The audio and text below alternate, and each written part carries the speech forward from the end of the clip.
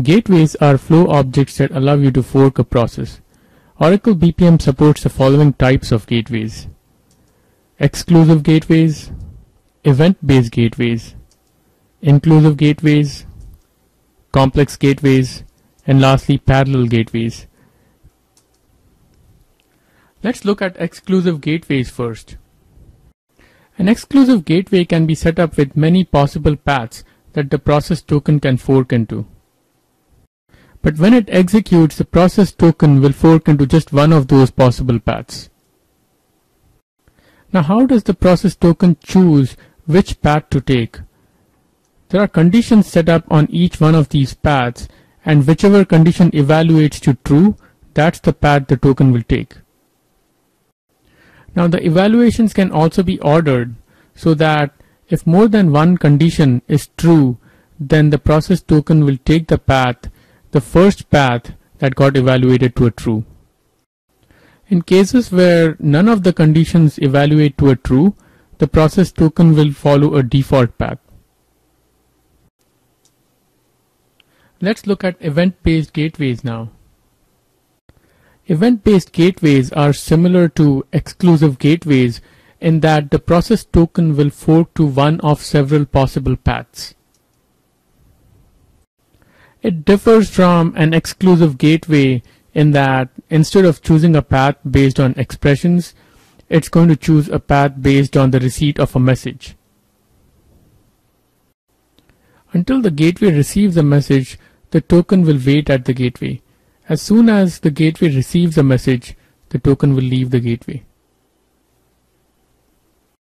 You can also set up a timer task so that if no message is received within a set time, then the token can exit the gateway. Let's look at inclusive gateways now. Unlike an exclusive gateway where the process can get forked into one of several paths, the inclusive gateway can split a process into more than one path.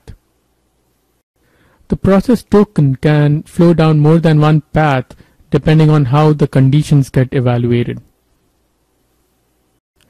Tokens are joined at the merge of the inclusive gateway. When one of the tokens reaches the merge gateway, it waits until the other tokens arrive there and then it leaves the gateway. You must also define one default path. If none of the conditions evaluate to a true, then the process token will take this path. Let's look at a complex gateway now. A complex gateway is similar to an inclusive gateway in that the process token can split into several paths based on which paths have uh, expressions that evaluate to true. In an inclusive gateway, at the merge end of the gateway, the token waits until all other tokens arrive. In a complex gateway, you have a little more control over this. You can define an expression in the merge gateway so that the token can leave the gateway even if all the tokens have not arrived at the gateway.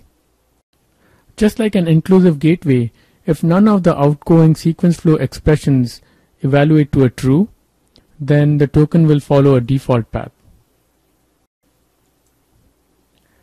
Let's look at parallel gateways now.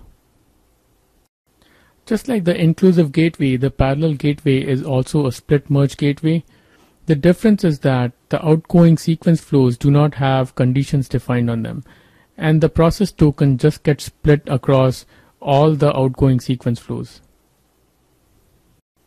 At the merge part of the gateway, the token just waits until all the tokens from all the sequence flows reach there.